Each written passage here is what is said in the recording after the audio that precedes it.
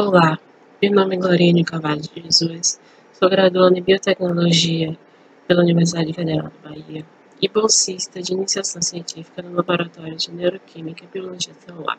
Hoje vou falar sobre meu plano de trabalho intitulado Papel de receptores de glicocorticoides na sinalização de flavonoides e modelos in vitro de doenças neurodegenerativas, orientado pela professora doutora Suzana Braga de Souza, sobre co-orientação da professora doutora Silva Lima Costa.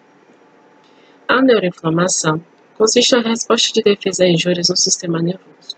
Quando exacerbado, este processo pode levar a danos degenerativos, comumente visto em doenças como Alzheimer e Parkinson, além de outras desordens psíquicas como a depressão.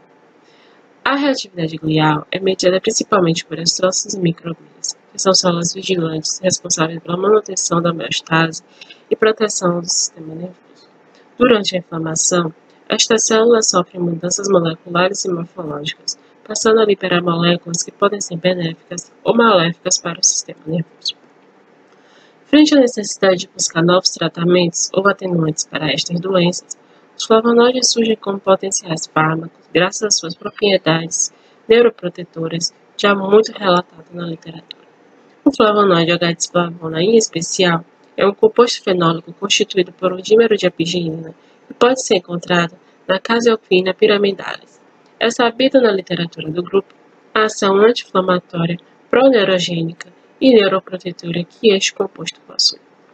Já o receptor de glicocorticoide é um receptor nuclear importante na mediação da resposta inflamatória, uma vez que sua ativação pode induzir a síntese de proteínas anti-inflamatórias, além de inibir a síntese de mediadores pró-inflamatórios.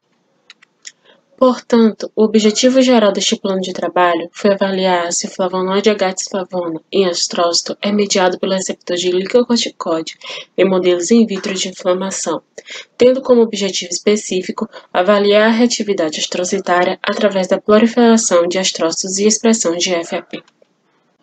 Para isso, é realizada cultura primária de células gliais, seguindo o protocolo de Mesh et al. A cultura é obtida a partir de hemisférios cerebrais de ratos uístas neonatos de P0 a P12, que são lançados no chamado D0. Os hemisférios são isolados asepticamente, post-TME-DMEM, suas meninges são removidas e as células dissociadas mecanicamente, filtradas, centrifugadas e ressuspendidas em um novo meio já suplementado, onde são mantidas por 10 dias quando há uma retirada de microglia presente nessa cultura, no D10. No D11, essas células são plaqueadas e no D16 são começados os tratamentos, em que é administrado DMEM com antagonista mifepristona por duas horas, ou apenas DMEM para o grupo controle. Em seguida, é administrado LPS com e sem H-flavona e DMCO para o grupo controle. No dia seguinte, D17, as células são fixadas e submetidas à imunocitoquímica para posterior análise foi realizada a marcação para GFAP, proteinasa fibrilar glial presente em astrócitos, e BRDU, análogo de timidina e marcador de proliferação, com contracoloração de DAP, o intercalante de DNA, marcador de núcleo. Para análise de proliferação astrocitária é vista a proporção de células positivas para BRDU. Os grupos estão expressos com percentual do controle, que é 100% vista uma proporção significativamente maior de marcação com PRDU em células tratadas com LPS, independente do tratamento com H-flavona ou mifepristona. Porém, não houve diferença significativa entre estes grupos. A expressão relativa de GFAP é um importante marcador para o aumento da atividade glial, uma vez que sua atividade é intensificada em condições pró-inflamatórias. É possível observar no gráfico este aumento em células tratadas somente com LPS, quando comparado ao controle.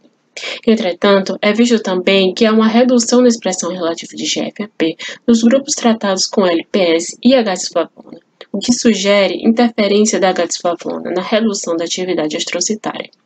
Por outro lado, é possível observar também que não houve uma redução da reatividade no grupo exposto ao LPS, H-desflavona, junto com o antagonista do receptor de glicocorticoide, mifepristona, o que sugere uma dependência do H-desflavona pelo receptor de glicocorticoide para exercer seu papel anti-inflamatório ou redutor da atividade glial.